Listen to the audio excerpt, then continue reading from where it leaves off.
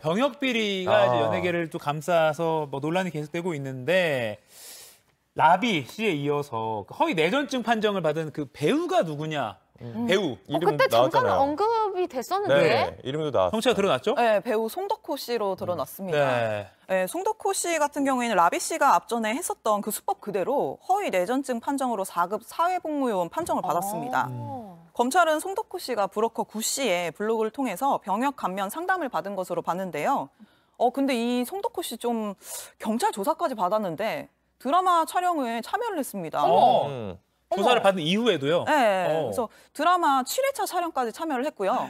그 제작진한테는 아 일신상의 문제로 하차를 하겠다라고 하차 의사를 밝혔는데 나중에 아, 알고 보니까 병역. 병역 비리 의혹이었습니다. 아이고. 그러니까 7회차까지 촬영을 한 다음에 그다음에 저 이제 그만둬야 될 것 같아요라고 해버렸으면 어이구. 사실 제작진한테 좀 피해가 많이 간 것 같아요. 네, 그래서 제작진은 지금 새로운 이제 배우를 캐스팅, 뽑아서. 네, 배우 뽑아서 지금 캐스팅을 하고 있고요. 어. 그럼 1회부터 다시 찍어야 되는 건가요? 어, 네, 일곱 번의 촬영을 참여했기 때문에 그 분량은 다시 찍어야 합니다. 어, 뭐야.